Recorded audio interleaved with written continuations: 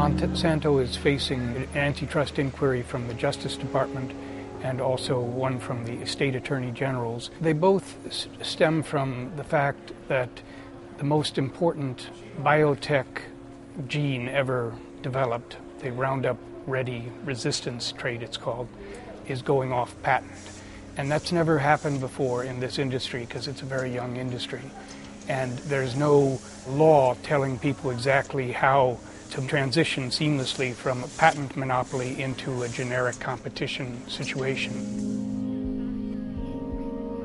In this case, more than 80% of all soybeans, more than 92% of, of genetically modified soybeans have Monsanto's traits in them. More than 70% of all field corn in the country, more than 80% of all the cotton has a, a Monsanto trait in it. The concern is that as new traits are being developed, and there are a great many new traits coming down the pipeline, if farmers want to get the benefits of those while keeping the benefits of Roundup Ready, they have to be bred into the same seed.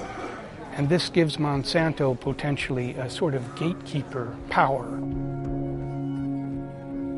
There are two concerns.